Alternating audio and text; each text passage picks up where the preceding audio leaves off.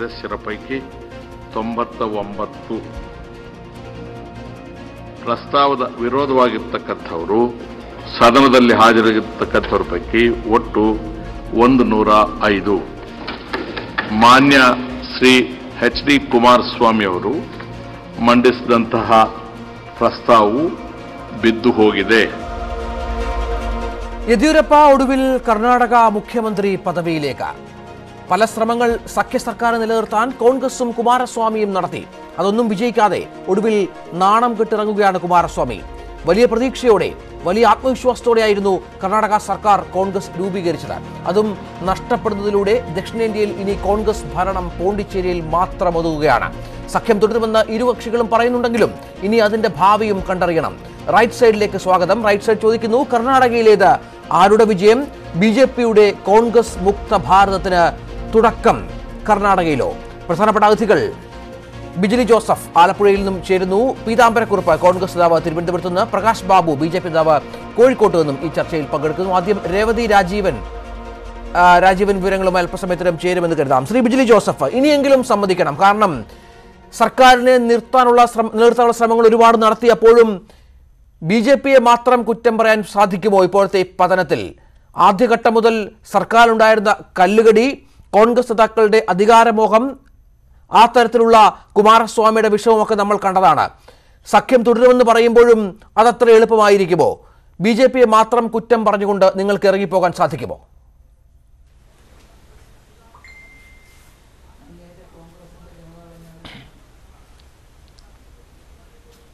ഞാൻ ഒരു കാര്യം പറയാം. താങ്കൾ വിശേഷിപ്പിച്ചതുപോലെ കർണാടകത്തിലെ സംഭവ വികാസങ്ങളോ ആ ഗവൺമെന്റിന്റെ രാജിയോ ഒരു നാണക്കേടായി കരുതാൻ ഇന്ത്യയിലെ ജനാധിപത്യ വിശ്വാസികൾക്കാവില്ല. ജനാധിപത്യപരമായി തെരഞ്ഞെടുക്കപ്പെട്ട ഒരു ഗവൺമെന്റിനെ ആരൊക്കെ എന്തൊക്കെ ന്യായീകരിച്ചാലും അധാർമികമായ മാർഗത്തിലൂടെ പുറത്താക്കി ബി ജെ പി നേടിയിരിക്കുന്നത് രാഷ്ട്രീയ അധാർമികതയുടെ വിജയമാണ്. അതിൽ താൽക്കാലികമായി അവർ വിജയിച്ചുവെങ്കിലും കുമാരസ്വാമിയുടെ ഗവൺമെന്റിനെ അട്ടിമറിച്ചുകൊണ്ട് നേടിയ ഈ വിജയം അധികകാലം നിലനിർത്താൻ ബി ജെ പിക്കാവില്ല എന്നുള്ളത് വളരെ വ്യക്തമായും തെളിയിക്കപ്പെടാൻ പോവുകയാണ്. എന്തായാലും ഈ പതിനാറ് എം എൽ എമാരെ കുമാരസ്വാമി ഗവൺമെന്റിനെ പിന്തുണ പിന്തുണച്ച പതിനാറ് എം എൽ എമാരെ പല മാർഗങ്ങളിലൂടെ രാഷ്ട്രീയമായ ഹീനമാർഗങ്ങളിലൂടെ രാജിവെപ്പിച്ചുകൊണ്ടാണ് അധാർമികമായി രാഷ്ട്രീയ വിജയം താൽക്കാലികമായി ബി ജെ പി നേടിയിട്ടുള്ളത്. പക്ഷെ ഒരു കാര്യം ഇവർ മത്സരിച്ച മണ്ഡലങ്ങളിൽ ഇവരുടെ രാജി എന്തായാലും സ്വീകരിക്കണമല്ലോ. സുപ്രീം കോടതിയിൽ വരെ പോയി രാജി സ്വീകരിക്കണമെന്ന് ആവശ്യപ്പെട്ട ആളുകൾ ഈ പതിനെട്ട് ദിവസക്കാലവും താങ്കൾ പറഞ്ഞതുപോലെ കർണാടകത്തിൽ നിന്ന് ഒഴിഞ്ഞു നിന്ന് ബി ജെ പി ഒരുക്കി കൊടുത്ത രഹസ്യ താവളത്തിൽ കഴിഞ്ഞ ആളുകൾ നാളെ തിരിച്ചു വരുമെന്ന് പ്രഖ്യാപിച്ചു കഴിഞ്ഞിരിക്കുന്നു. അവർ തിരിച്ചു വരട്ടെ. വളരെ വ്യക്തമായി നമുക്കൊരു കാര്യം പറയാൻ സാധിക്കും. ഇത്തരമൊരു അധാർമികമായ രാഷ്ട്രീയ കൂട്ടുകെട്ടിന്റെ രാഷ്ട്രീയമായ കുതിര കച്ചവടത്തിന് കളമൊരുക്കി ജനാധിപത്യപരമായി തെരഞ്ഞെടുക്കപ്പെട്ട ഒരു ഗവൺമെന്റിനെ രാഷ്ട്രീയമായി കശാപ്പു ചെയ്യാൻ ബി ജെ പിക്ക് അവസരം കൊടുത്ത ഈ ആളുകൾ വരുന്ന ഉപതെരഞ്ഞെടുപ്പിൽ ഒരു കാരണവശാലും മത്സരിക്കാൻ അതിലേക്കൊക്കെ വരാം ശ്രീ സാധിക്കാത്ത ജോസഫ്. ഞാൻ ആദ്യം ചോദിച്ച പോലെ ഈ ഗവൺമെന്റിന്റെ ഗവൺമെന്റിന് കല്ലുകടികൾ മുഴച്ചിരിക്കുമെന്ന് പറയുന്നത് പോലെ ബി ജെ പി അധികാരത്തിൽ നിന്ന് മാറ്റി നിർത്താനായി ഒരു സഖ്യ സർക്കാർ രൂപീകരിക്കുന്നു. ഒന്നാമത്തെ കക്ഷി രണ്ടാമത്തെ കക്ഷിയും മൂന്നാമത്തെ കക്ഷിയുമായി ചേർന്ന്. ഒരു തരത്തിലും യോജിക്കാത്ത രണ്ടു കക്ഷികളായിരുന്നു പരസ്പരം മത്സരിച്ചവർ.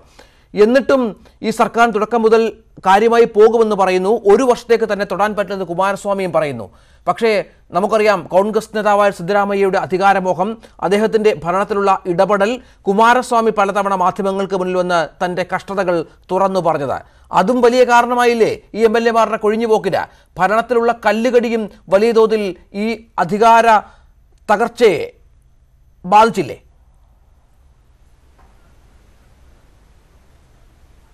അല്ല അത്തരം ചില വാർത്തകളുണ്ട്. അതിന്റെ സത്യസന്ധമായ വിലയിരുത്തൽ നടത്തുവാനുള്ള ഒരു സമയമായിട്ടില്ല. എന്തായാലും ഈ രാഷ്ട്രീയ സഖ്യത്തിന് നേതൃത്വം കൊടുക്കുകയും ഇതിന് രൂപവൽക്കരിക്കാൻ മുൻകൈയെടുക്കുകയും ചെയ്തത് ഇന്ത്യൻ നാഷണൽ കോൺഗ്രസ് ആണ് രാഹുൽ ഗാന്ധിയുടെ നേതൃത്വത്തിലുള്ള കോൺഗ്രസ് ബി ജെ പിയെ ഒഴിച്ചു നിർത്താൻ നടത്തിയ ഒരു രാഷ്ട്രീയ പരീക്ഷ പരീക്ഷണമായിരുന്നു കർണാടകത്തിൽ നടന്നത്. അത് ഏറെക്കുറെ വിജയിക്കുന്ന ഘട്ടത്തിലെത്തിയപ്പോൾ എന്തായാലും ഞാനിപ്പോഴും പറയുന്നു ഞാനിപ്പോഴും വിശ്വസിക്കുന്നു. ആ ഗവൺമെന്റ് എടുത്ത ഏതെങ്കിലും ഒരു നയപരമായ തീരുമാനങ്ങളുടെ അടിസ്ഥാനത്തിലോ ആ ഗവൺമെന്റ് നടപ്പാക്കിയ ഏതെങ്കിലും ജനങ്ങൾക്ക് ഹിതമല്ലാത്ത ഒരു തീരുമാനത്തിന്റെ അടിസ്ഥാനത്തിലോ അല്ല കർണാടകത്തിൽ കുമാരസ്വാമിയുടെ ഗവൺമെന്റിന് പുറത്തേക്ക് പോകേണ്ടി വരുന്നത്. അവിടെ നിങ്ങൾ എത്ര ന്യായീകരിക്കാൻ ശ്രമിച്ചാലും രഞ്ജിത്തെ ബി ജെ പി എടുത്ത അധാർമികമായ ഒരു രാഷ്ട്രീയമുണ്ട്.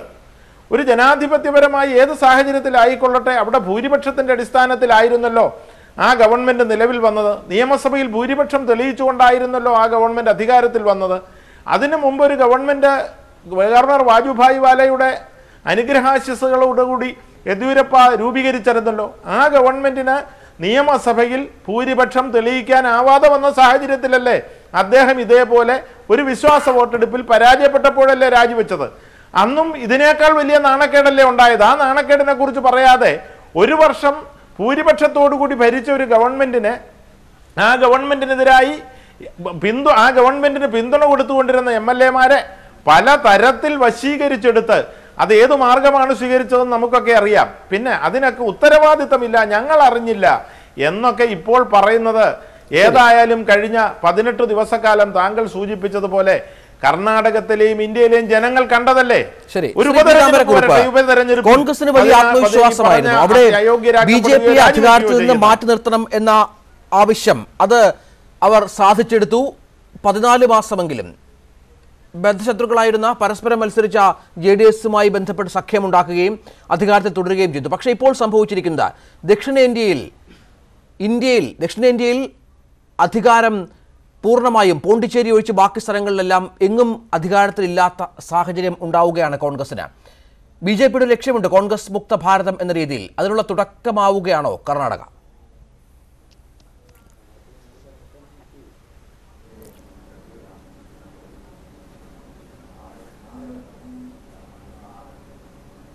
ശ്രീ പീതാംബരക്കുറുപ്പ്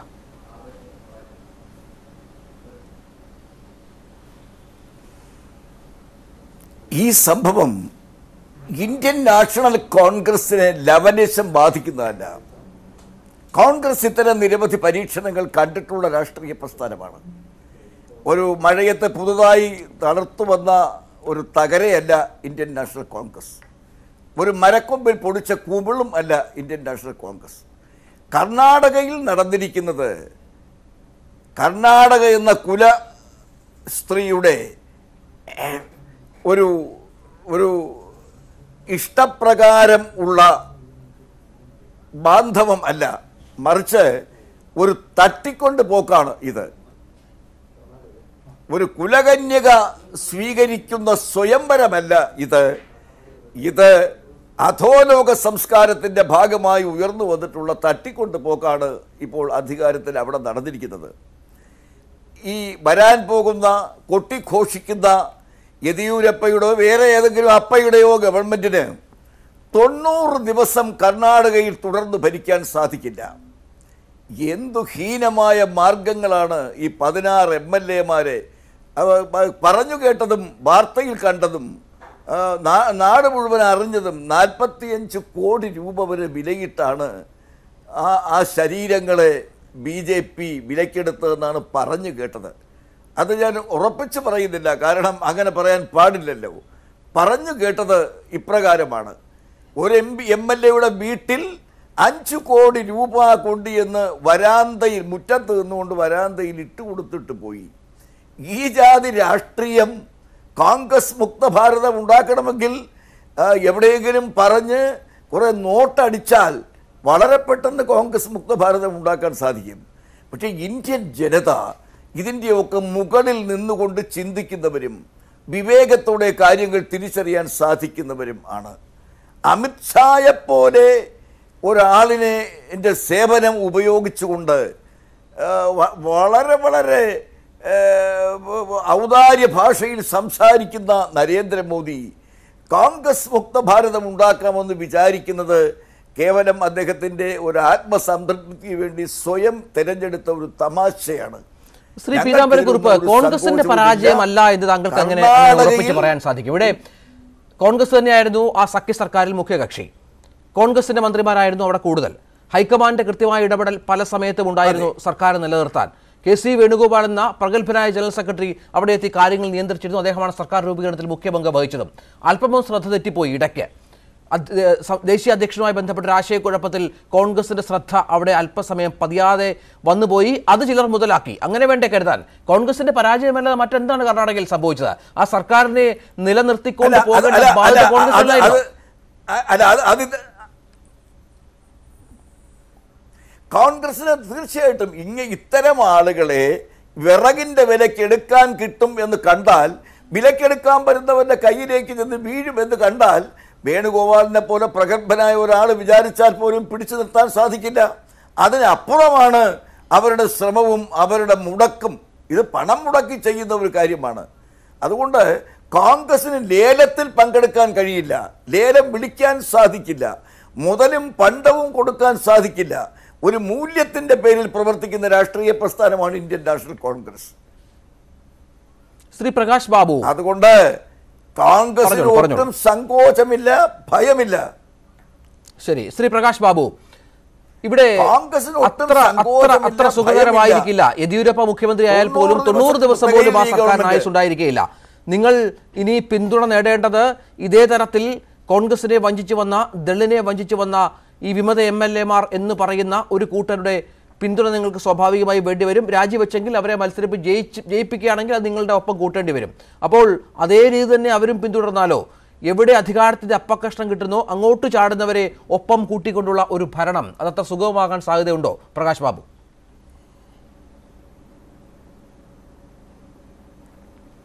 രഞ്ജിത്തെ ഒന്ന് കുറച്ച് സമയം തരണം. കാരണം രണ്ടുപേരും അവരുടെ ആരോപണം ഭാരതീയ ജനതാ പാർട്ടിക്കെതിരാണ്. ഇവിടെ കർണാടകത്തിൽ സംഭവിച്ചിട്ടുള്ളത് ജനാധിപത്യത്തിന്റെ വിജയമാണ്. ഇവിടെ അനിവാര്യമായിട്ടുള്ള ഒരു ഗവൺമെന്റിന്റെ ഈ രാജ്യം ആഗ്രഹിച്ചിട്ടുള്ള പതനമാണ് കർണാടകത്തിൽ നമ്മൾ കണ്ടിട്ടുള്ളത്. ഇവിടെ നേരത്തെ താങ്കൾ പറഞ്ഞതുപോലെ ഏച്ചുകെട്ടിയത് മുഴച്ചു നിൽക്കുമെന്ന് പറഞ്ഞതിന് പകരം ഏച്ചുകെട്ടിയത് ചിന്നി ചിതറിപ്പോകുമെന്ന് പറയണം കർണാടകത്തിലെ കാര്യങ്ങളെ സംബന്ധിച്ച് പറയുമ്പോൾ. തീർച്ചയായിട്ടും എന്ത് ജനാധിപത്യ ബോധമാ ഈ രണ്ടു പേരും പറയുന്നത്? ബഹുമാനായിട്ടുള്ള ബിജിലിയും അതേപോലെ തന്നെ പീതാംബരക്കുറുപ്പും. രണ്ടായിരത്തി പതിമൂന്നിൽ നടന്നിട്ടുള്ള തെരഞ്ഞെടുപ്പിൽ നൂറ്റി ഇരുപത്തിരണ്ട് സീറ്റ് കിട്ടി അധികാരത്തിൽ വന്ന കോൺഗ്രസിനെ രണ്ടായിരത്തി പതിനെട്ടിലെ തെരഞ്ഞെടുപ്പിൽ എഴുപത്തെട്ട് സീറ്റ് കൊടുത്ത് അധികാരത്തിൽ നിന്ന് മാറ്റി നിർത്തിയിട്ടുള്ള ഒരു ജനത. നാൽപ്പത് സീറ്റുണ്ടായിരുന്ന ജെ ഡി എസിന് മുപ്പത്തെട്ട് സീറ്റ് കൊടുത്ത് അകറ്റി നിർത്തിയിട്ടുള്ള ഒരു ജനത. അവിടെയാണ് നൂറ്റിനാല് സീറ്റ് കിട്ടിയിട്ടുള്ള ഭാരതീയ ജനതാ പാർട്ടിയെ അധികാരത്തിൽ നിന്ന് അകറ്റാൻ പാകത്തിലുള്ള എന്ത് അജണ്ടയായിരുന്നു തമ്മിൽ പരസ്പരം പോരടിച്ച് മത്സരിച്ച കോൺഗ്രസിനും ജനതാദളിനും ഉണ്ടായിരുന്നത്? എന്തായിരുന്നു ഉണ്ടായിരുന്നത്? ഒരു കോമൺ മിനിമം പരിപാടി ഈ രണ്ട് മുന്നണികൾക്കും ഉണ്ടായിരുന്നോ? തെരഞ്ഞെടുപ്പിൽ കർണാടകത്തിൽ അങ്ങോളം ഇങ്ങോളം പരസ്പരം തമ്മിലടിച്ച് പോരടിച്ച് മത്സരിച്ചവർ ഒരൊറ്റ അജണ്ട മാത്രം ബി ജെ പിയെ തോൽപ്പിക്കണം ബി ജെ പി വിരുദ്ധത എന്നുള്ള ഒരു അജണ്ട മേൽ മാത്രം സൃഷ്ടിക്കപ്പെട്ട ഒരു ഗവൺമെന്റ് ഇവിടെ രണ്ടുപേരുടെയും സംസാരത്തിൽ നമുക്ക് ബോധ്യപ്പെട്ടു. തമ്മിൽ അസ്വാരസ്യങ്ങൾ ഉണ്ടായിരുന്നു ഗവൺമെന്റിൽ. പരസ്പര ബദ്ധ വൈരികളായിട്ടുള്ളവരായിരുന്നു അധികാരം നിലനിർത്താൻ വേണ്ടി അവിടെ ഒരുമിച്ചിട്ടുള്ളത്.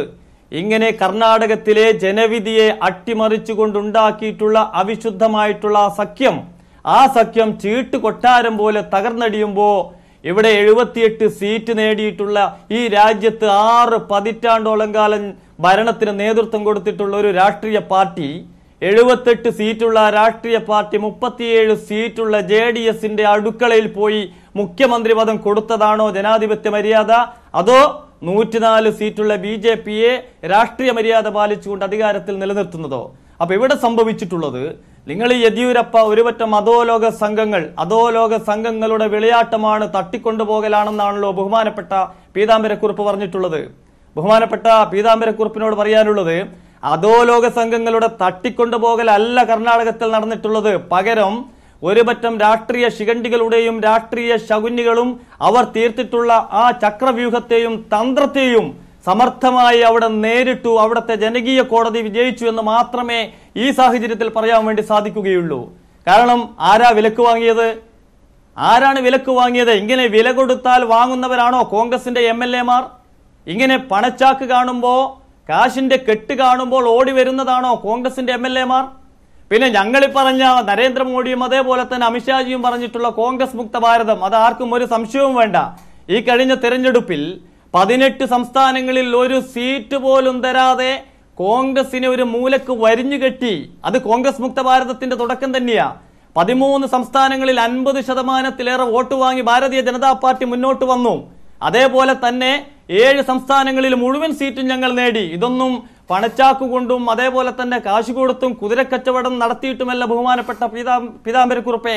ഇതൊക്കെ തന്നെ ജനാധിപത്യ രീതിയിൽ ഇഞ്ചോടിഞ്ച് പോരാടി നെഞ്ചു വിരിച്ച് കരളുറപ്പോടെ പോരാടി ഈ രാജ്യത്ത് കോൺഗ്രസ് എന്ന് പറയുന്ന പ്രസ്ഥാനത്തിന് അതിനെ അനിവാര്യമായ രീതിയിലുള്ള ഒരു പതനം ജനങ്ങൾ കൊടുത്തിട്ടുള്ളതാണ്. നിങ്ങൾ ബി ജെ പിയെ നിങ്ങൾ പരാജയപ്പെടുമ്പോൾ അത് കച്ചവടം നിങ്ങൾ വിജയിക്കുമ്പോൾ അത് ജനാധിപത്യ മര്യാദ ഇതൊക്കെ ജനങ്ങൾ തീരുമാനിക്കട്ടെ. കർണാടകത്തിലെ ജനവിധി ബി ജെ പിക്ക് അനുകൂലമായിരുന്നു. ആ ജനവിധി അട്ടിമറിച്ചത് കോൺഗ്രസും ജനതാദളുമാണ്. ബദ്ധവൈരികളായിട്ടുള്ള സിദ്ധാരാമയ്യ ഒരു ഭാഗത്തും ഈ ജെ ഡി എസിന്റെ കുടുംബ രാഷ്ട്രീയത്തിനെതിരെ കുടുംബാധിപത്യത്തിനെതിരെ കുമാരസ്വാമിക്കെതിരെയും ദേവഗൌഡക്കെതിരെയും വലിയ പോരാട്ടം നടത്തിയിട്ടുള്ള സിദ്ധാരാമയ്യ മറുഭാഗത്തുമാകുമ്പോൾ പലപ്പോഴും ഇവിടെ ഇപ്പൊ ചർച്ചയിൽ പങ്കെടുത്തുകൊണ്ടിരിക്കുന്ന ബിജിലി ബഹുമാനായിട്ടുള്ള ബിജിലി പറയുന്നത് ഞാൻ ശ്രദ്ധിച്ചിട്ടുണ്ട്. അദ്ദേഹം പറഞ്ഞത് ജനസമ്പർക്ക പരിപാടിയിലൂടെ വലിയ സ്വീകാര്യത നേടിയിട്ടുള്ള കുമാരസ്വാമി ഒരു ദിവസം വിദേശത്തേക്ക് പോയപ്പോ അദ്ദേഹത്തെ പരസ്യമായി കുത്താൻ വേണ്ടി കോൺഗ്രസ് ശ്രമിച്ചു എന്ന് ബഹുമാനപ്പെട്ട വിജിലി പറഞ്ഞല്ലോ. അദ്ദേഹം നിഷേധിക്കട്ടെ? ഇങ്ങനെ പരസ്പരം നിങ്ങൾ തമ്മിലുള്ള മുന്നണിയിലുള്ള അസ്വാരസ്യവും പടല പിട- പിണക്കവുമാണ് കർണാടകത്തിൽ നിങ്ങളെ നശിപ്പിച്ചിട്ടുള്ളത്. ഇത് അനിവാര്യമായിട്ടുള്ള പതനമാണ്. ഇത് ജനാധിപത്യത്തിന്റെ ഭാവി സംബന്ധിച്ച് ചോദ്യം. അതായത് കോൺഗ്രസും കെ സി വേണുഗോപാലും കുമാരസ്വാമിയും ഒക്കെ തുടർച്ചയായി പറയുന്നുണ്ട് സഖ്യം തുടരുമെന്ന്. പക്ഷേ ലോക്സഭാ തെരഞ്ഞെടുപ്പിലടക്കം ജനങ്ങൾ പൂർണമായും തള്ളിയ ഒരു സഖ്യം. അവിടെ കോൺഗ്രസുമായുള്ള സഖ്യം ആയതുകൊണ്ടാണോ എന്താണെന്ന് അറിയില്ല ജനതാദളിന്റെ ശക്തി കേന്ദ്രങ്ങളിൽ പോലും ദേവഗൌഡ പോലും പരാജയപ്പെടുന്ന സാഹചര്യത്തിലേക്ക് കാര്യങ്ങൾ എത്തിയപ്പോൾ സ്വാഭാവികമായി മനസ്സിലാക്കണം ജനത്തിന് അത്ര ദഹിച്ചിട്ടില്ല ഈ കൂട്ടുകെട്ടെന്ന്. ഇനി ഇതിന്റെ മുന്നോട്ടുള്ള ഭാവി എന്തായിരിക്കും? ഈ രീതിയിൽ മുന്നോട്ട് പോകാൻ ഈ സഖ്യത്തിന് സാധിക്കുമോ?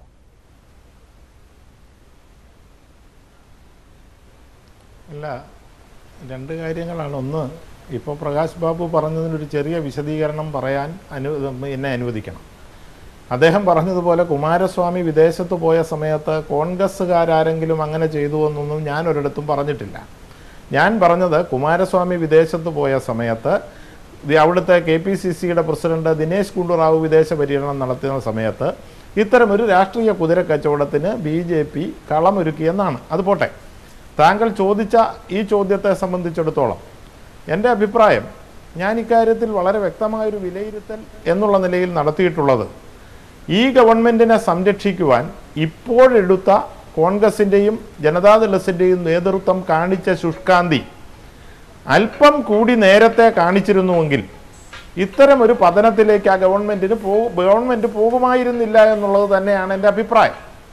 അത് പറയാൻ കാരണം ഇത്തരമൊരു പ്രത്യേക രാഷ്ട്രീയ കാലാവസ്ഥ അവിടെ രൂപപ്പെടുത്തിയെടുക്കാൻ ബി ജെ പി സ്വീകരിച്ച സമയവുമായി ബന്ധപ്പെട്ടാണ് ഞാൻ പറഞ്ഞ കാര്യങ്ങളെ ബഹുമാനപ്പെട്ട എന്റെ സ്നേഹിതൻ പ്രകാശ് ബാബു വളച്ചൊടിച്ചത്.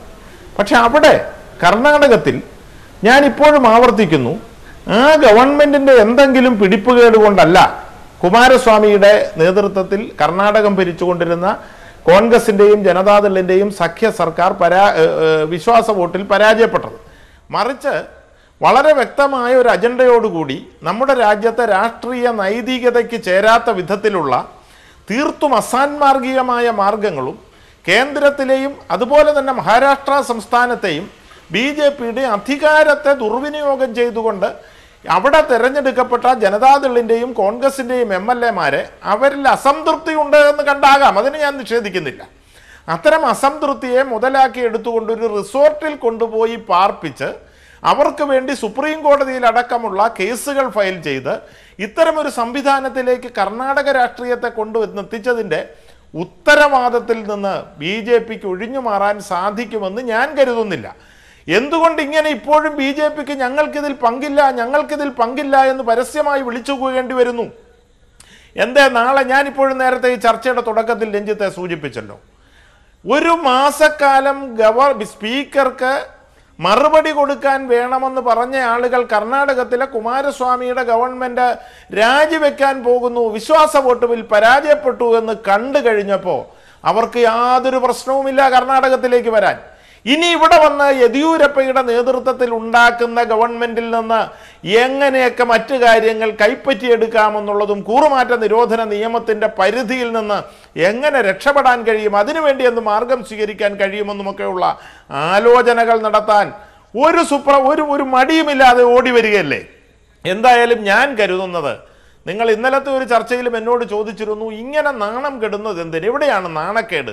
നാണക്കേടിന്റെ പ്രശ്നമൊന്നുമില്ല.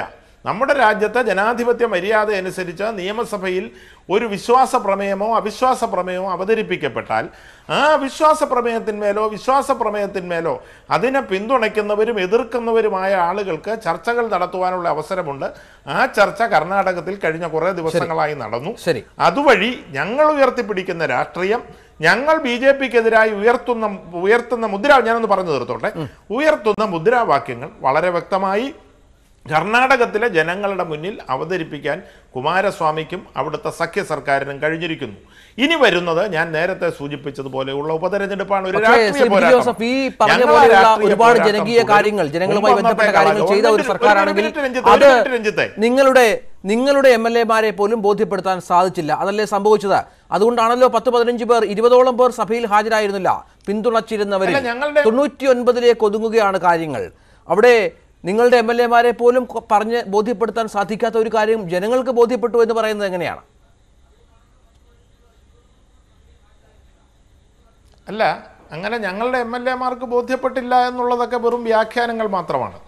ഞങ്ങളെ സംബന്ധിച്ചിടത്തോളം കർണാടകത്തിലെ രാഷ്ട്രീയം ഞങ്ങൾ ഞാൻ നേരത്തെ സൂചിപ്പിച്ചതുപോലെ ആ സഖ്യ സർക്കാരിന് അത് രൂപീകരിക്കപ്പെട്ടപ്പോൾ ഉണ്ടായിരുന്നതിൽ നിന്ന് വ്യത്യസ്തമായി പരസ്പരമുള്ള കൂട്ടായ്മ കുറച്ചുകൂടി വർദ്ധിച്ചിട്ടുണ്ട്. രാഷ്ട്രീയ ദൈർ ഒരു ദൃഢത രാഷ്ട്രീയമായ ബന്ധത്തിന് ഒരു ദൃഢത വന്നു ചേർന്നിട്ടുണ്ട്. അത് തീർച്ചയായും ബി ജെ പിക്കെതിരായ ജനകീയ പോരാട്ടത്തിൽ ഞങ്ങൾക്ക് ശക്തി പകരും. ബഹുമാനപ്പെട്ട പീതാംബരക്കുറുപ്പ് സൂചിപ്പിച്ചതുപോലെ ഈ ഗവൺമെന്റിന് ആ നിയമസഭയിൽ വിശ്വാസ വോട്ടെടുപ്പ് തേടി വിശ്വാസം തെളിയിക്കാൻ സാധിച്ചാലും ഒരു ഉപതെരഞ്ഞെടുപ്പിൽ ഇപ്പോഴും അവർക്ക് ഭൂരിപക്ഷം ഈ വരുന്ന ഉപതെരഞ്ഞെടുപ്പുകൾ കൂടി കഴിഞ്ഞാൽ ശരി. അവർക്ക് ഭൂരിപക്ഷം ഇല്ലാത്ത ഒരു പീതാംബരക്കുറിപ്പ് അങ്ങനെ ഒരു ആത്മവിശ്വാസം. അടിസ്ഥാനത്തിലാണ്? എന്തായാലും ഈ സഖ്യം കാര്യമായി മുന്നോട്ട് പോകും ഇനിയും അങ്ങോട്ട്. കാരണം ലോക്സഭാ തെരഞ്ഞെടുപ്പിൽ ഞാൻ നേരത്തെ പറഞ്ഞ പോലെ ജനം പൂർണമായും തള്ളിക്കളഞ്ഞ ഒരു സഖ്യമാണ്. ഒരു സീറ്റിൽ മാത്രം ഒതുക്കപ്പെട്ടു. വലിയ തോതിൽ ബി ജെ പി വിരുദ്ധ പ്രചാരണം നടത്തിയിട്ടും മോദി വിരുദ്ധ പ്രചാരണം നടത്തിയിട്ടും ഒരുപാട് വോട്ടുകൾ നിങ്ങൾ ജയിച്ച ഈ മത്സരിച്ച മണ്ഡലങ്ങൾ ഒരുമിച്ച് നിന്നാൽ ജയിക്കുമെന്ന് കരുതുന്നേണ്ട ഇരുപത്തിയഞ്ചോളം മണ്ഡലങ്ങൾ അവിടെ ഉണ്ടായ സാഹചര്യമൊക്കെ ഉണ്ടായിരുന്നു. കാര്യങ്ങൾ നേരെ മറിഞ്ഞു. അത് ഇനി മുന്നോട്ട് കൊണ്ടുപോകാനുള്ള സാഹചര്യം എത്രത്തോളം ഉണ്ട് ഈ സഖ്യവുമായി ബന്ധപ്പെട്ട ഒരു ഭാവി എന്തായിരിക്കും?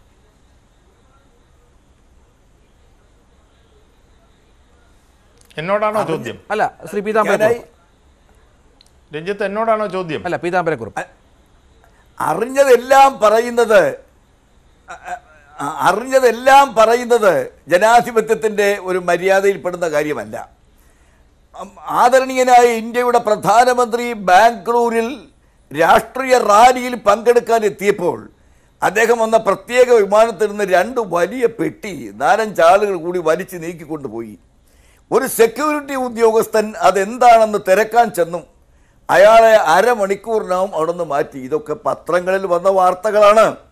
പണം വാരിക്കോരി അധികാരം സുലഭമായി വിനിയോഗിച്ച് അധികാര ദുർവിനിയോഗം ചെയ്ത് ജാതിയും മതവും ഇളക്കിവിട്ട് വർഗങ്ങളെയും വർഗീകളെയും തമ്മിലടുപ്പിച്ച് ഈ രാജ്യത്തെ എല്ലാ അധാർമിക സംഭവങ്ങളും നടത്തി തെരഞ്ഞെടുപ്പിൽ വിജയമുണ്ടാക്കാൻ പലർക്കും സാധിക്കും.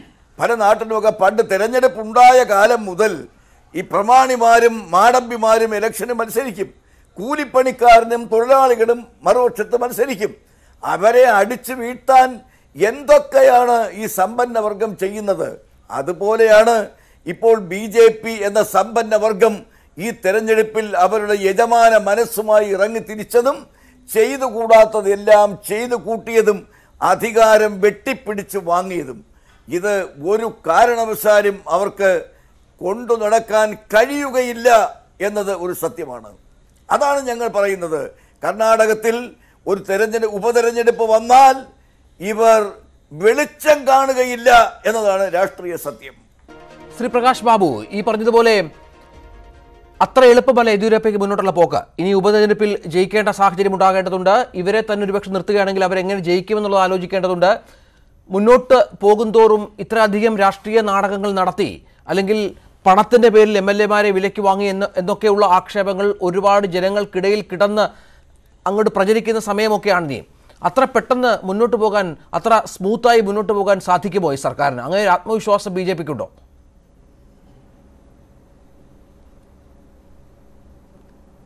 രഞ്ജിത്തെ ഞാൻ അത് അതിലേക്ക് വരാം. അതിനു മുമ്പ് ഒന്ന് രണ്ട് കാര്യം. ഇവിടെ വളരെ കൃത്യമായി ജനാധിപത്യത്തിൽ സംഭവിക്കുന്ന പരാജയത്തെയും വിജയത്തെയും അന്തസ്സോടുകൂടി ഏറ്റെടുക്കാൻ രാഷ്ട്രീയ പാർട്ടികൾ തയ്യാറാകണം. അതൊരു ജനാധിപത്യ മര്യാദയാണ്. ഞാനിപ്പോൾ ഭാരതീയ ജനതാ പാർട്ടി സാത്വികരായിട്ടുള്ള സന്യാസി ശ്രേഷ്ഠന്മാരാണെന്നും ഞാൻ അവകാശപ്പെടുന്നില്ല. പക്ഷെ ഒരു ജനാധിപത്യ സംവിധാനത്തിൽ ഒരു രാഷ്ട്രീയ പാർട്ടികൾക്ക് ചില ലക്ഷ്യങ്ങളുണ്ടാകും. ആ ലക്ഷ്യം പൂർത്തീകരിക്കാൻ വേണ്ടി രാഷ്ട്രീയപരമായിട്ടുള്ള നയങ്ങൾ സ്വീകരിക്കും. ഇവിടെ തെരഞ്ഞെടുപ്പിന്റെ ഫലം വരുന്നതിന്റെ രണ്ട് ദിവസം മുമ്പ് അന്ന് വരെ കോൺഗ്രസും ഈ രാജ്യത്തെ പ്രതിപക്ഷ പാർട്ടികളും എന്താ പറഞ്ഞിട്ടുള്ളത്? രാജ്യത്തെ ഇലക്ട്രോണിക് വോട്ടിംഗ് മെഷീനുമായി ബന്ധപ്പെട്ട ഏത് രാഷ്ട്രീയ പാർട്ടിയുടെ ചിഹ്നത്തിന് വോട്ട് ചെയ്താലും അത് ബി പോകുന്നു. ബി ജനാധിപത്യത്തെ അട്ടിമറിച്ചു.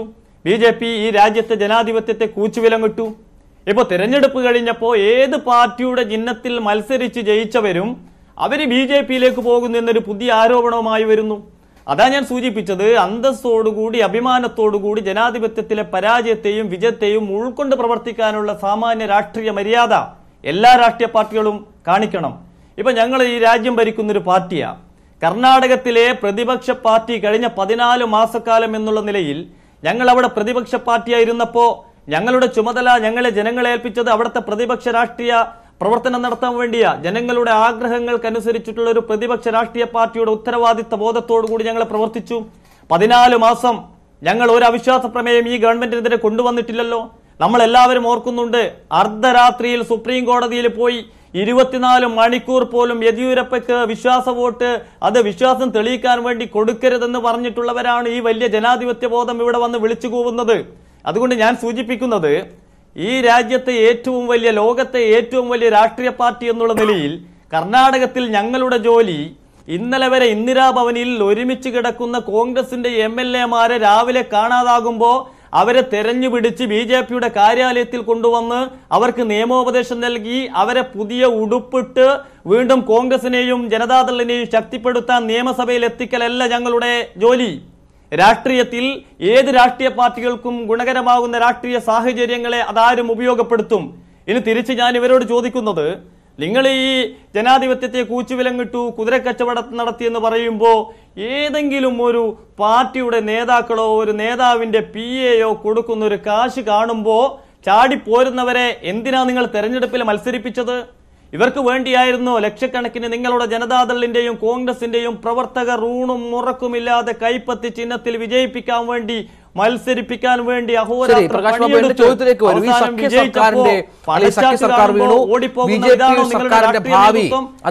നിങ്ങളുടെ പരാജയത്തെ അത് തുറന്ന് സമ്മതിക്കുന്ന ഒരു രാഷ്ട്രീയ മര്യാദ നിങ്ങൾ പ്രകാശ് ബാബുവിന്റെ ചോദ്യത്തിലേക്ക് വരൂ. ഈ സർക്കാർ അത് നിലനിൽക്കും? അത് എങ്ങനെ മുന്നോട്ട് പോകും? ഞാൻ നേരത്തെ ചോദിച്ചതുപോലെ ഈ കൂറുമാറ്റക്കാരെയൊക്കെ കൂട്ടി വേണം മുന്നോട്ട് പോകാൻ. തെരഞ്ഞെടുപ്പിൽ അവരെ വിജയിപ്പിക്കേണ്ടതുണ്ട്. എത്ര ആത്മവിശ്വാസമുണ്ട് ബി ജെ പിക്ക് അക്കാര്യത്തിൽ? രഞ്ജിത്തെ ഞങ്ങൾ പൂർണമായിട്ടുള്ള ആത്മവിശ്വാസത്തിലാണ്. കാരണം മുങ്ങുന്ന കപ്പലിൽ ആരും നിൽക്കാൻ വേണ്ടി ആഗ്രഹിക്കില്ല. ഇപ്പോൾ കർണാടകത്തിൽ നൂറ്റിനാല് എം എൽ എമാരുടെ പിന്തുണ നിലവിൽ ഭാരതീയ ജനതാ പാർട്ടിക്കുണ്ട്. മറുപക്ഷത്ത് തൊണ്ണൂറ്റൊൻപത് പേരുടെ പിന്തുണയാണുള്ളത്. ഈ പതിനാറ് പേരുമായി ബന്ധപ്പെട്ട് അവർ കൂറുമാറ്റ നിരോധന നിയമത്തിന്റെ പരിധിയിൽ വരുമോ? അല്ലെങ്കിൽ അയോഗ്യരാകുമോ എന്നുള്ളത് രണ്ടാമത് ഇപ്പോൾ തീർപ്പ് കൽപ്പിക്കേണ്ട കാര്യമാണ്. എന്തു തന്നെയായാലും ഇനി അവർ അയോഗ്യരായി അവിടെ ഉപതെരഞ്ഞെടുപ്പ് വന്നാൽ ആർക്കായി ഈ രാജ്യത്തെ ഒരു രാഷ്ട്രീയ വിദ്യാർത്ഥികൾക്ക് ഒരു സംശയവുമില്ല. കാരണം രണ്ടായിരത്തിൽ പതിനെട്ടിൽ ഈ മൂന്ന് മുന്നണികളായി അവിടെ മത്സരിച്ചപ്പോൾ ഭാരതീയ ജനതാ പാർട്ടിക്ക് ലഭിച്ച വോട്ടിന്റെ എത്രയോ മടങ്ങ്. അത് കൃത്യമായി പറഞ്ഞ തൊണ്ണൂറ് ശതമാനം സീറ്റുകൾ അൻപത് ശതമാനത്തിനടുത്ത് വോട്ടോട് കൂടിയിട്ടാണ് ഈ കർണാടകത്തിൽ ജനങ്ങൾ ഈ ലോക്സഭാ തെരഞ്ഞെടുപ്പിൽ ബി ജെ പിക്ക് കൊടുത്തിട്ടുള്ളത്. അപ്പോൾ കർണാടകത്തിൽ കഴിഞ്ഞ പതിനാലും മാസം ഇവർ ഏച്ചുകെട്ടിയിട്ടുള്ള രാഷ്ട്രീയ ഭരണം ആ ഭരണത്തിനുള്ള സ്വീകാര്യതയാണ് ഈ ലോക്സഭാ തെരഞ്ഞെടുപ്പിൽ പ്രതിഫലിച്ചതെങ്കിൽ ആകെയുള്ള ലോക്സഭാ സീറ്റിന്റെ തൊണ്ണൂറ് ശതമാനം ലോക്സഭാ സീറ്റും എങ്ങനെ ഇവർ ഒരുമിച്ച് മത്സരിച്ചപ്പോൾ ബി ജെ പിക്ക് കിട്ടി? അൻപത് ശതമാനത്തിനടുത്ത് വോട്ട് എങ്ങനെ കിട്ടി? അതുകൊണ്ട് എന്ത് ഉപതെരഞ്ഞെടുപ്പ് നടന്നാലും ഈ വൃത്തികെട്ട രാഷ്ട്രീയത്തിനെതിരെ ഈ രാഷ്ട്രീയ വ്യഭിചാരങ്ങൾക്കെതിരെയുള്ള ശക്തമായിട്ടുള്ള ജനവിധിയും അതേപോലെ തന്നെ കർണാടകത്തിൽ ഉണ്ടാകാൻ പോകും. അതുകൊണ്ട് ഞങ്ങളെ സംബന്ധിച്ചിടത്തോളം ഈ രണ്ട് മുന്നണികളുടെയും ആത്മവിശ്വാസം നല്ലതാണ്. ഒരു രാഷ്ട്രീയക്കാരന്റെ മുന്നോട്ടുള്ള പ്രയാണത്തിൽ ആത്മവിശ്വാസം വളരെ വലുതാണ്. പക്ഷേ കർണാടകത്തിൽ ഞങ്ങൾ ഈ രാജ്യത്ത് പതിനെട്ട് സംസ്ഥാനങ്ങളിൽ ഒരു സീറ്റ് പോലും കൊടുക്കാതെ മൂലക്കിരുത്തിയിട്ടുള്ള ഈ രാജ്യത്ത് ഏറ്റവും വലിയ രാഷ്ട്രീയ പ്രതിസന്ധി നേരിടുന്ന കോൺഗ്രസിനും അതേപോലെ തന്നെ ജനതാദളും ഇനി കർണാടകത്തിന്റെ രാഷ്ട്രീയ ഭൂപടത്തിൽ പോലും കാണില്ല. അത്ര ധിക്കാരമാണ് ജനങ്ങളോട് അവരെ കാണിച്ചിട്ടുള്ളത്. അതുകൊണ്ട്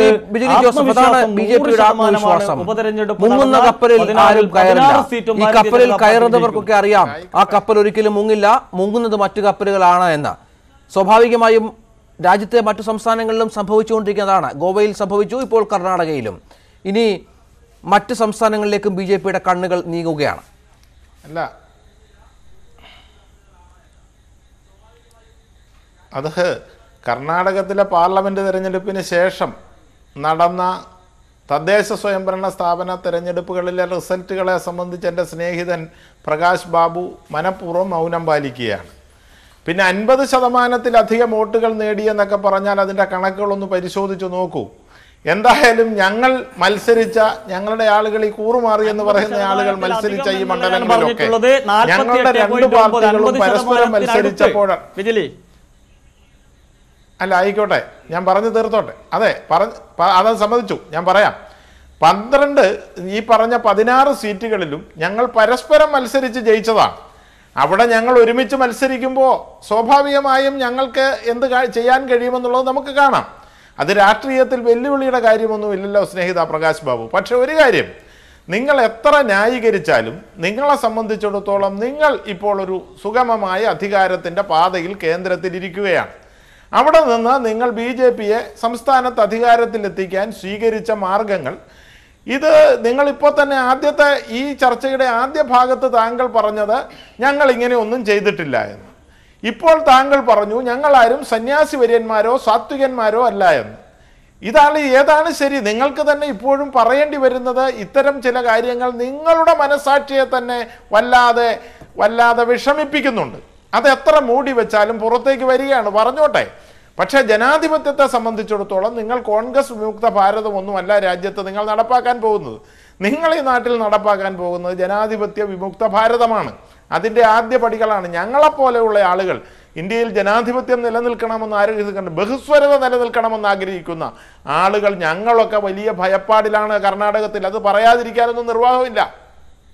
നിങ്ങളിത് കർണാടകത്തിൽ തുടങ്ങിയെങ്കിൽ നിങ്ങൾ ഗോവയിൽ ഇത് ആരംഭിച്ചെങ്കിൽ നിങ്ങൾ മധ്യപ്രദേശിലേക്കും അതുപോലെ തന്നെ നിങ്ങൾ പശ്ചിമ ബംഗാൾ അടക്കമുള്ള പ്രതിപക്ഷ പാർട്ടികൾ ഭരിക്കുന്ന സംസ്ഥാനങ്ങളിലേക്കുമൊക്കെ ആവിഷ്കരിക്കാൻ പോകുന്ന ഒരു തന്ത്രമാണ്. ഒരു ജനാധിപത്യ രാജ്യത്തെ പ്രതിപക്ഷ കക്ഷികൾക്ക് അവർ തെരഞ്ഞെടുപ്പിലൊക്കെ താൽക്കാലികമായ പരാജയം ഉണ്ടായേക്കാം ഏതെങ്കിലും കക്ഷികളൊക്കെ തെരഞ്ഞെടുപ്പിൽ പരാജയപ്പെട്ടു എന്നുള്ളത് കൊണ്ട് അവരൊരിക്കലും അധികാരത്തിലേക്ക് തിരിച്ചു വരില്ല എന്നൊക്കെ നമ്മളൊക്കെ ധരിക്കുന്നത് ശരിയാണോ? നമ്മുടെ നമ്മുടെയൊക്കെ ഈ കാലഘട്ടത്തിൽ തന്നെ സ്വതന്ത്ര ഇന്ത്യയിൽ അങ്ങനെ എത്രയോ ദയനീയമായ രാഷ്ട്രീയ പരാജയങ്ങൾ രാഷ്ട്രീയ കക്ഷികൾക്കുണ്ടായിട്ടുണ്ട്. അത് കഴിഞ്ഞിട്ട് അവരൊക്കെ വലിയ ഭൂരിപക്ഷത്തോടെ തെരഞ്ഞെടുക്കപ്പെട്ട് വന്നിട്ടുണ്ടല്ലോ. അപ്പൊ ഇതൊന്നും ശാശ്വതമായ വിജയമൊന്നുമല്ല. ശരി. നിങ്ങൾ ജനങ്ങളിൽ വിശ്വസിക്കണം. പിന്നെ ഒറ്റ കാര്യം കൂടെ ഞാൻ പറയാം. നിങ്ങൾ ക്രിയാത്മകമായ പ്രതിപക്ഷമായി അല്ലെങ്കിൽ ഒറ്റ കാര്യം. ക്ര- ക്രിയാത്മകമായ പ്രതിപക്ഷമായിരുന്നു പ്രവർത്തിച്ചു എന്ന് പറഞ്ഞു. രാഷ്ട്രീയ കുതിര കുതിരക്കച്ചവടവും കൂറുമാറ്റവും അല്ലാതെ നിങ്ങൾ കഴിഞ്ഞ കർണാടകത്തിന്റെ ചരിത്രത്തിൽ ഈ കുമാരസ്വാമി ഗവൺമെന്റിനെതിരായി നടത്തിയ ഒരൊറ്റ പ്രതിപക്ഷ സമരം നിങ്ങൾക്ക് ചൂണ്ടിക്കാണിക്കാൻ പറ്റുമോ? നിങ്ങൾ ഒന്നും ചെയ്തിട്ടില്ല. നിങ്ങൾക്ക് ആ ഗവൺമെന്റിനെതിരായി രാഷ്ട്രീയമായ ആരോപണങ്ങളൊന്നുമില്ല. നിങ്ങൾ പറയുന്നത് ഞങ്ങളുടെ ആളുകൾ കൂറുമാറിപ്പോയതിനെ ഞങ്ങൾ നിങ്ങൾ അവരെ സംരക്ഷിക്കണമെന്നുള്ള ചോദ്യമേ ചോദിക്കുന്നുള്ളൂ. കുമാരസ്വാമി ഗവൺമെന്റ് നടപ്പാക്കിയ ജനവിരുദ്ധമായ നടപടികൾ ഇന്നതാണ് ഇന്നതാണ് ഇന്നതാണ് എന്നക്കമിട്ട് പറയാൻ നിങ്ങൾക്ക് സാധിക്കുന്നുണ്ടോ? ഒരു രാഷ്ട്രീയ പാർട്ടി എന്നുള്ള നിലയിൽ നിങ്ങൾ അങ്ങനെ പറയണ്ടേ? അതല്ലേ രാഷ്ട്രീയം? അതോ നിങ്ങൾ ഇങ്ങനെ കയ്യിലിരിക്കുന്ന പണം കൊണ്ടുവന്ന് എവിടെ നമുക്ക് ബഹുമാനപ്പെട്ട പീതാംബര ഗ്രൂപ്പ് പറഞ്ഞതുപോലെ ചില വലിയ നേതാക്കന്മാരെ കൊണ്ടുവന്ന് പെട്ടികൾ കൊടുക്കുക പണം വാങ്ങിക്കുക അതാണ് ഇന്ത്യയുടെ രാഷ്ട്രീയം. നിങ്ങൾ മുന്നോട്ട് വെക്കുന്ന രാഷ്ട്രീയം ബി ജെ പിയുടെ ലക്ഷ്യം അത് കർണാടകയിൽ സാധിച്ചു കഴിഞ്ഞു. ഇനി മറ്റു സംസ്ഥാനങ്ങളിലേക്ക് അടക്കം സ്വാഭാവികമായി അവർ പറഞ്ഞത് മധ്യപ്രദേശും രാജസ്ഥാനും അടക്കമുള്ളിടത്തേക്ക് കണ്ണുകൾ പോവുകയാണ്. ഗോവയിൽ വളരെ സുഗമമായ ഒരു സർക്കാർ രൂപീകരണം നടത്തി കഴിഞ്ഞു കോൺഗ്രസിന് ദേശീയ തലത്തിൽ നേതൃത്വമില്ല. നമ്മൾ പലതവണ ചർച്ച ചെയ്ത വിഷയമാണ്. പക്ഷേ കർണാടക പരാജയത്തിന്റെ പശ്ചാത്തലത്തിൽ കുറച്ചുകൂടി ജാഗ്രത പാലിക്കേണ്ട കോൺഗ്രസ് പാർട്ടി മറ്റു സംസ്ഥാനങ്ങളിലും ഉണ്ടാകുന്ന ഉൾപോരുകൾ അത് അവസാനിപ്പിക്കാനുള്ള ശ്രമങ്ങൾ നടത്താനുള്ള നേതൃത്വം വരണ്ടേ ദേശീയ തലത്തിൽ. അതിനുള്ള സമയം ഇനിയെങ്കിലും ഇനി ഉണർന്ന് പ്രവർത്തിക്കണ്ടേ കോൺഗ്രസ് നേതാക്കൾ?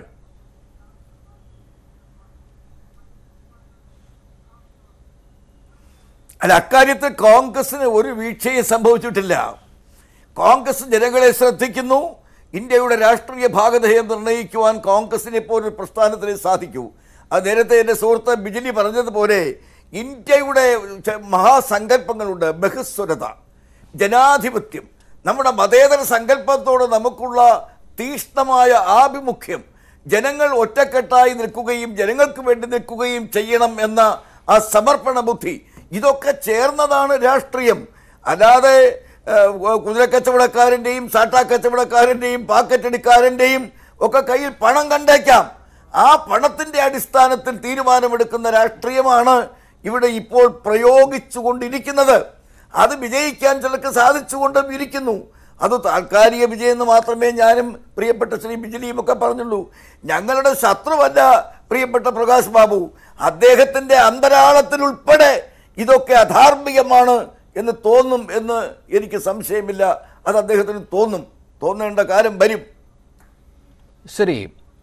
പ്രധാനപ്പെട്ട അതിഥികൾ ഈ ചർച്ചയിൽ പങ്കെടുത്ത് സംസാരിക്കായിരുന്നു ശ്രീ വിജിലി ജോസഫ് ശ്രീ പ്രകാശ് ബാബു ശ്രീ പീതാംബരക്കുറുപ്പ്.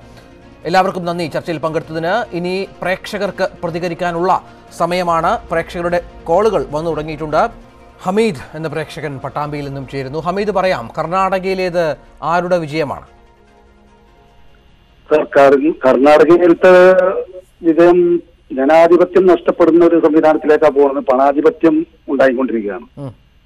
പിന്നെ അതിന് പറഞ്ഞ കോൺഗ്രസ് പാർട്ടി ശ്രദ്ധിക്കാനുള്ളത് നിന്ന് ജയിച്ചു കഴിഞ്ഞ എം എൽ എമാർ കാൽ മാറുന്ന ഇത് ആ സംവിധാനത്തിന് ഒരു അറുതി ഉണ്ടാക്കണം. അതിന് എന്താണ് ചെയ്യാൻ കഴിയാ അത് ചെയ്യേണ്ടതാണെന്നാണ് എന്റെ അഭിപ്രായം. കാലമാറ്റം വെച്ചു പൊറപ്പിക്കാൻ പാടില്ല. അത് പാർട്ടി കർശന നടപടി അതിനു വേണ്ടി എടുക്കണം. അതിന് നിയമനിർമ്മാണമാണെങ്കിൽ അങ്ങനെ എന്താ വേണ്ടിച്ച അത് ആലോചിച്ചുകൊണ്ട് നിന്ന് പാർട്ടിയുടെ കാലാവധി കഴിയുന്നത് വരെ ആ ആൾ ആ പാർട്ടിയിൽ നിൽക്കാനുള്ള ഒരു സംവിധാനം ഉണ്ടാവും ശരി. നന്ദി. വിനോദ് ഹമീദ് പ്രതികരിച്ചതിന് വിനോദ് ആലപ്പുഴയിൽ നിന്നും ചേരുന്നു. വിനോദ് പറയാം. ഹലോ. വിനോദ് പറഞ്ഞോളൂ. ഞാൻ ഞാൻ കാണുന്നത് പിന്നെ ബി ജെ പിയുടെ വിജയമായിട്ടാണ് ഞാൻ വിജയ വിജയത്തെ ഇപ്പൊ കാണുന്നത്. നമ്മുടെ പ്രധാനമന്ത്രിയുടെ ആ ഒരു ഒരു ജനങ്ങളിലുള്ള വിശ്വാസമാണ് അവിടുത്തെ ആ വിജയത്തെ കുറിച്ച് എനിക്ക് പറയാനുള്ളത്.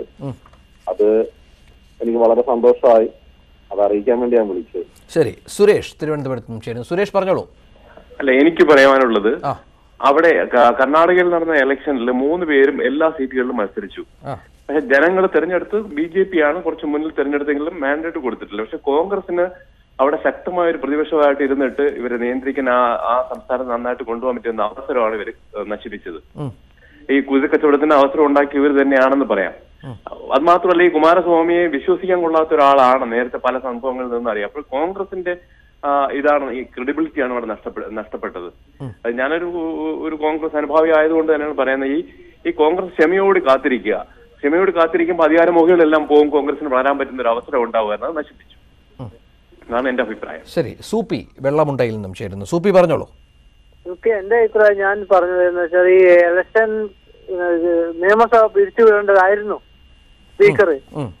എന്നിട്ട് ഇലക്ഷന് നേരിടാം എന്നിട്ട് ബി ജെ പി ഒറ്റ സീറ്റും കിട്ടാത്ത രീതിയിലാണ് ജനങ്ങൾ ഇതൊക്കെ തെരഞ്ഞെടുക്കേണ്ടത്.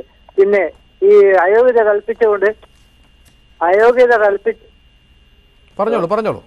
അയോഗ്യത കൽപ്പിക്ക അയോഗ്യത കൽപ്പിക്കേണ്ടതായിരുന്നു. അയോഗ്യത കൽപ്പിച്ചതിന് ശേഷം ഇലക്ഷൻ മത്സരിക്കുകയും ഈ എം എൽ എമാര് അവർ മത്സരിക്കുക അവരുടെ നിയോജക മണ്ഡലത്തെ ജനങ്ങൾ മുഴുവനും ആ എം എൽ എ മാരെ ഒറ്റ വോട്ട് കിട്ടാത്ത രീതിയിൽ തെരഞ്ഞെടുക്ക ഇലക്ഷന് കാണിച്ചു കൊടുക്കേണ്ടതാണ്. ശരി ശരി ശരി സൂപ്പി നന്ദി. വിളിച്ചതിന് അബൂബക്കർ കാസർഗോഡ് നിന്നും ചേരുന്നു. അബൂബക്കർ പറയാം.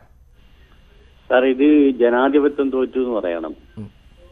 ഇത് കാശ് വാങ്ങിയിട്ട് ഈ ഇതെല്ലാം ചെയ്തു കൂട്ടുന്ന ഒരു പണിയല്ല സാർ ഇതെല്ലാം.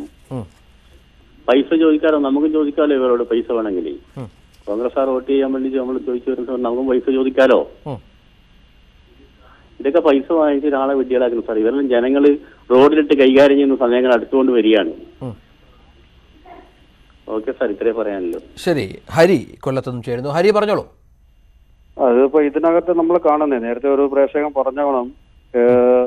യഥാർത്ഥത്തിൽ ബി ജെ പിക്കായിരുന്നു അവിടുത്തെ ജനങ്ങൾ മാൻഡേറ്റ് കൊടുത്തത്. പക്ഷേ രാഷ്ട്രീയത്തിൽ ഒരു പോസ്റ്റ് പോൾ അലയൻസും ഒക്കെ സാധ്യമായിട്ടിരിക്കെ അവർ ജനതാദളും കോൺഗ്രസും കൂടെ ചേർന്ന് ഒരു സർക്കാർ ഉണ്ടാക്കി ഇപ്പൊ ബി ജെ പി യഥാർത്ഥത്തിൽ ചെയ്യുന്നതെന്ന് പറഞ്ഞാൽ ഇത് നമ്മുടെ ജനാധിപത്യത്തിനെ അങ്ങേയറ്റം ധംസിക്കുന്ന ധ്വംസിക്കുന്ന രീതിയിലുള്ള അതായത് അവർ സി ബി ഐയെ മറ്റേ അതുപോലുള്ള ഇ ഡി അതുപോലുള്ള ഡിപ്പാർട്ട്മെന്റുകളെ കാണിച്ച് ഈ എം എൽ എമാരെ പല രീതിയിൽ ഭീഷണിപ്പെടുത്തിയും അവർക്ക് പൈസ ഓഫർ ചെയ്തുമാണ് ഈ ഇപ്പോൾ നിലവിൽ ഈ സാഹചര്യം ഉണ്ടാക്കിയിട്ടുള്ളത്. മഹാരാഷ്ട്രയിൽ പോയി ഈ എം എൽ എ വിമത എം എൽ എരെ കാണാൻ പോലും ഈ മുഖ്യമന്ത്രിക്കൊന്നും യാതൊരു അവസരം ഉണ്ടാക്കി കൊടുക്കാതെ ഇതെല്ലാം യഥാർത്ഥത്തിൽ നമ്മളുടെ ജനാധിപത്യത്തിന് എതിരായിട്ടാണ്. നമുക്കൊന്നും യാതൊരു രീതിയിൽ ഇതിനകത്ത് പ്രതികരിക്കാനോ വേറെ ഒന്നും ചെയ്യാനോ പറ്റുന്നില്ല.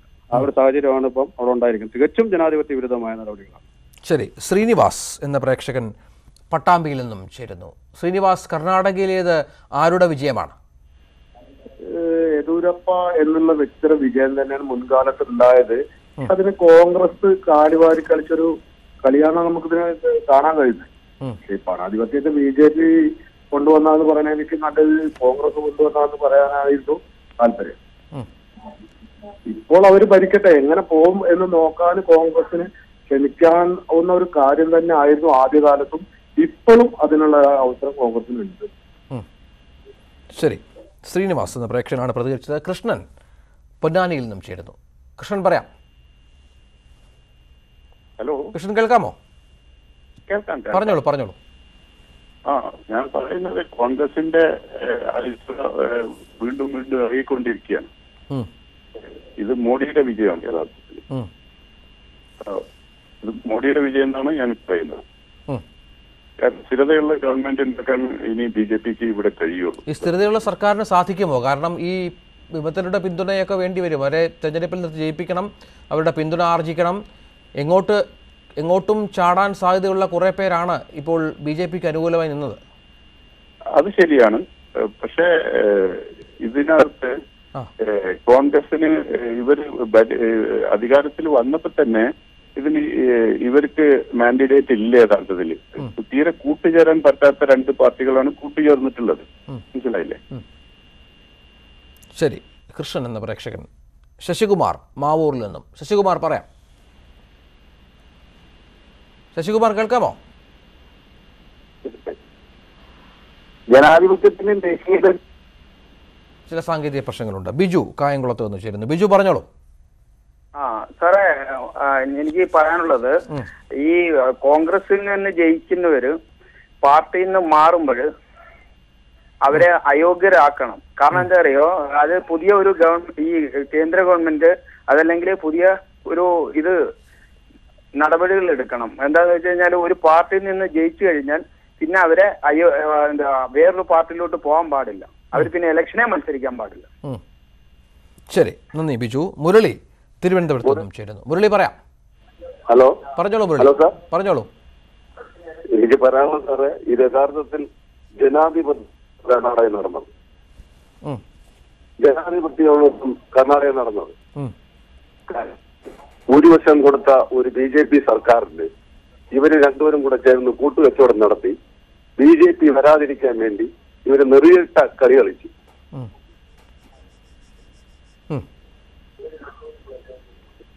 സുരേന്ദ്രൻ കണ്ണൂരിൽ നിന്നും ചേരുന്നു. സുരേന്ദ്രൻ പറഞ്ഞോളൂ. ആ ഇവിടെ പറയാനുള്ള ബി ജെ പി സർക്കാർ വന്നാലേ കാര്യമുള്ളൂ. എല്ലാവർക്കും എല്ലാ കാര്യത്തിനും ബി ജെ പി മോദി തന്നെ തരണം അല്ലാണ്ട് ഒരു പരിപാടി ഇവിടെ നടക്കൂല. ഇവർ പല പല വർത്തമാനങ്ങൾ ഇവർ പറയും. ഈ മോദി ഇപ്പൊ കഴിഞ്ഞ പ്രാവശ്യം പറഞ്ഞ എല്ലാരും മോദിയൊക്കെ പോയി മോദി ബി ജെ കോൺഗ്രസ് വരുന്നൊക്കെ പറ്റി ഇതൊന്നും നടക്കുന്ന പരിപാടി മോദി വന്നാൽ എല്ലാവർക്കും നല്ല സുഖമാണെന്ന് ആരും മനസ്സിലാക്കിയാൽ മതി അത് മോദിയെ വേണ്ടു. വേറെ ആരും വേണ്ട. ഞാനൊരു മിലിറ്ററിക്കാരനാണ് അതുകൊണ്ടാണ് പറയുന്നത്. ശരി ശരി സുരേന്ദ്രൻ. സുജി ഇരട്ടിയിൽ നിന്നും ചേരും. സുജി പറഞ്ഞോളൂ. ആ ഹലോ സാറ് ആ. ആ എനിക്ക് ഇത് നമ്മുടെ ഒരു രാഷ്ട്രീയപരമായ ഒരു അഭിപ്രായം അല്ല ഞാൻ പറയാൻ ഉദ്ദേശിക്കുന്നത്. ഏതായാലും ഒരു ഒരാഴ്ചയോളം ഇതിന്റെ അകത്ത് ഈ കർണാടകയിലെ ഈ സ്പീക്കർ ഒരു സൂപ്പർ സ്റ്റാർ ആയി എന്നുള്ളതാണ് ഇതിന്റെ അകത്ത് ഒരു ഒരു പ്രധാന കാര്യം. ആ പിന്നെ അതുപോലെ വേറൊരു കാര്യം എനിക്ക് പറയാനുള്ളത്. എന്നെ നമ്മളെ ഈ ഇന്ത്യൻ ഭരണഘടന എങ്ങനെയൊക്കെ വേണമെങ്കിലും തിരിച്ചു മറിച്ച് ആർക്കാണ് അധികാരമെന്നും ആർക്കും തിരിയാത്ത ഒരു കോലത്തിലാണ് ഈ കർണാടക വിഷയത്തിൽ നമ്മൾ പരിശോധിച്ചാൽ മനസ്സിലാവുക. ഇത് ആർക്കാണ് അധികാരം കൂടുതൽ? സ്പീക്കർക്കാണോ? ഇനി ഗവർണർക്കാണോ? എന്നും ഒന്നും ഒന്നും തിരിയാത്ത ഒരു അവസ്ഥയാണ് സാധാരണ അതിനൊക്കെ വ്യക്തത വരേണ്ടതുണ്ട്. അതെ അതെ. അതിനൊക്കെ വ്യക്തത വരേണ്ടതുണ്ട്. ഈ ഓരോ കാര്യം സംസാരിക്കുമ്പോൾ അതിനൊക്കെ വ്യക്തത വരേണ്ടതുണ്ടെന്ന് എനിക്ക് പറയാനുള്ളത് രാഷ്ട്രീയം ഞാൻ ഇതിനകത്ത് പറയുന്നില്ല. കാരണം ഞാൻ ഈ ചർച്ചയിൽ ഈ നാലഞ്ച് ദിവസം ഈ ന്യൂസ് എയ്റ്റിൽ അഭിപ്രായം പറഞ്ഞാ ഇനിയിപ്പോ എന്നാ പറയാനോ? ഒന്നും പറയാനില്ല. അത്രേ അവസാന ഉള്ളൂ. സർക്കാർ അവസാനം സർക്കാർ വീണു. അതെ അതെ അതെ അതെ. ശരി. നന്ദി. സുജി യൂസഫ് എരുമയിൽ നിന്നും യൂസഫ് പറയാം പറയാം. സാറേ ഇതിപ്പോ എന്താന്ന് വെച്ചാലേ ഇപ്പൊ ബി ജെ പിയിലേക്ക് എം എൽ എമാരും പോയിട്ടില്ല. പോയിട്ടുണ്ടോ? ഇല്ലല്ലോ. അപ്പം നമ്മളിത് കാശ് കൊടുത്ത് മേടിക്കുന്ന പറയുന്നതിനകത്ത് കാര്യമില്ല. പിന്നെ ഈ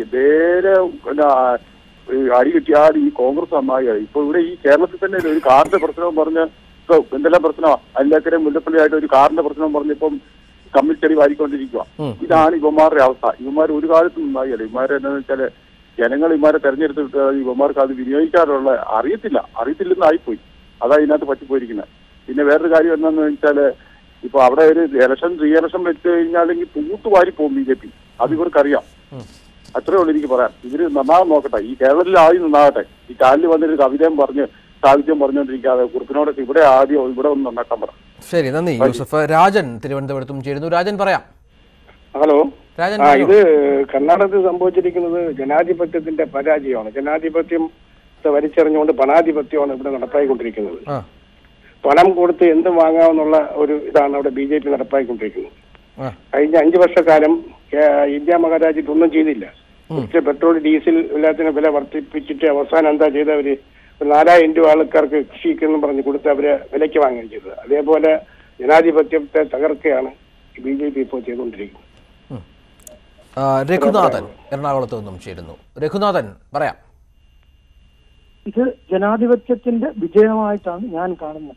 കാരണം ഒരു സംസ്ഥാനത്തിന്റെ ആകെ വികസനവും അതിന്റെ സാധാരണ നടക്കേണ്ട രീതിയിലുള്ള ഭരണപരമായിട്ടുള്ള ഒരു കാര്യവും നടക്കാതെ അവിടെ ഇത്രയും ജനാധിപത്യ വിരുദ്ധമായിട്ടുള്ള ഒരു സംഭവങ്ങളാണ് കഴിഞ്ഞ പതിനാല് മാസമായിട്ട് നടന്നുകൊണ്ടിരിക്കുന്നത്. അപ്പൊ ഇത് ഇവിടെ നല്ല ജനങ്ങൾക്ക് വേണ്ട ഒരു ഗവൺമെന്റ് വലിയ താമസമില്ലാതെ അധികാരത്തിൽ വരും. അത് ആ നാടിന് ഗുണവും ചെയ്യും. പിന്നെ ഒരു കാര്യം കൂടെ പറഞ്ഞു ഞാൻ നിർത്തിയേക്കാം. ഈ വേണുഗോപാൽ ഉണ്ട്. നമ്മുടെ കെ സി വേണുഗോപാൽ എന്നുള്ള മഹാൻ അവിടെ എന്ന് ആ കർണാടകത്തിന്റെ ചാർജ് എടുത്ത് അവിടെ കാലുകുത്തിയോ അന്ന് മുതൽ അവിടുത്തെ കോൺഗ്രസിന് അധപ്പതനമാണ് അദ്ദേഹത്തിന് അല്പമെങ്കിലും മാന്യത അല്ലെങ്കിൽ രാഷ്ട്രീയ മര്യാദ ഉണ്ടെങ്കിൽ കോൺഗ്രസിന്റെ ജനറൽ സെക്രട്ടറി സ്ഥാനം രാജിവെച്ച് കോൺഗ്രസുകാരോട് അദ്ദേഹം ക്ഷമ ചോദിക്കേണ്ട ഒരു മര്യാദ ആയിക്കൊണ്ട് ചെയ്താൽ നല്ലത്. അതാണ് ചെയ്യേണ്ടത്. ശരി നന്ദി. രഘുനാഥൻ എറണാകുളത്ത് നിന്നുള്ള പ്രേക്ഷകരാണ് സംസാരിച്ചത്. നിരവധി പ്രേക്ഷകർ വിളിച്ചുകൊണ്ടിരിക്കുന്നു. പരമേശ്വരൻ തിരുവനന്തപുരത്ത് നിന്ന് ചേരുന്നു. പരമേശ്വരൻ പറഞ്ഞോളൂ. ഞാൻ വിളിച്ചതല്ല. ഈ പൈസ കിട്ടിക്കഴിഞ്ഞാൽ കാൽ മാറുന്ന ഒരു രീതി. ഇത് നാളെ ബി ജെ പിക്ക് ഇതേ സംഭവിക്കാൻ പോണുള്ളൂ. ബി ജെ പിക്ക് ഇത് തന്നെയാണ് സംഭവിക്കുന്നത്. എന്ന് പറഞ്ഞു കഴിഞ്ഞാൽ ബി ജെ പി പ്രവർത്തകര് പറഞ്ഞില്ലേ ഉറക്കവും കളഞ്ഞ് രാത്രി രാത്രിയൊന്നുമില്ല പകലൊന്നുമില്ലാതെ വർക്ക് ചെയ്ത് ഇവരെ ജയിപ്പിച്ചു കഴിഞ്ഞാൽ പൈസ കിട്ടിക്കഴിഞ്ഞാൽ ഇവർ കാൽ മാറുന്ന ഒരു രീതി. ഇത് ഈ പറയും പോലെ ഇതിന് കോടതി മുൻകൈ എടുത്ത് ഇതിനൊരു തീരുമാനം എടുക്കണം. ഇങ്ങനെ കാൽ മാറുന്നവരെ അയോഗ്യരാക്കണം? ഒരു പാർട്ടിയിൽ നിന്നും ആ പാർട്ടി പ്രവർത്തകരെ അവരെ അവർക്ക് വേണ്ടിയിട്ട് വർക്ക് ചെയ്ത് അവരെ ജയിപ്പിച്ച് വിട്ടതിന് ശേഷം പൈസ കൊടുത്തു കഴിഞ്ഞാൽ പറഞ്ഞ ഇതിൽ ചാടി അപ്പുറത്തോട്ട് പോകുന്ന ആ ഒരു രീതി. ഒരു രാഷ്ട്രീയ പാർട്ടിയിലും ഇത് ഉണ്ടാവാതിരിക്കണമെന്നുണ്ടെങ്കിൽ ഒന്ന് നമ്മളെ ഭരണഘടനയിൽ തന്നെ അത് ഉണ്ടാവണം. ഒരു രാഷ്ട്രീയ പാർട്ടിയും അങ്ങനെ ചെയ്യാൻ പാടില്ല. ശരി. അത് ചെയ്യുന്നത് ശരിയല്ല അത്.